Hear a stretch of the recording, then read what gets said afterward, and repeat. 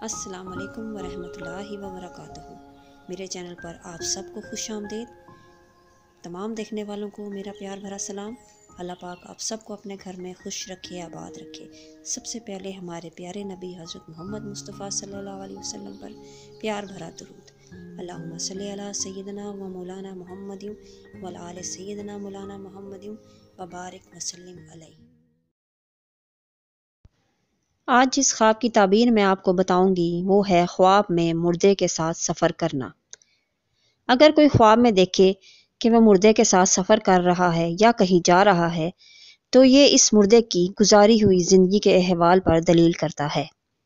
یعنی کہ اگر فوت شدہ شخص ایک نیک، پرہیزگار اور متقی آدمی تھا، تو خواب دیکھنے والا اسی کی راہ اختیار کرے گا۔ اور اگر فوت شدہ شخص فاسق، بری فطرت یا برائی کے رستے پر چلنے والا تھا، تو خواب دیکھنے والا بھی وہی راہ اختیار کرے گا۔ اور اگر کوئی خواب میں دیکھے کہ وہ اپنے فوت شدہ والدین کے ساتھ سفر کر رہا ہے یا کہیں جا رہا ہے، تو یہ بہت ہی مبارک خواب ہے۔ کیونکہ ماں باپ کے ساتھ خواب میں سفر کرنا جو فوت ہو گئے ہوں، بہت اچھا ثابت ہوتا ہے۔ یہ تھی آج کی خواب اور اس کی دلیل۔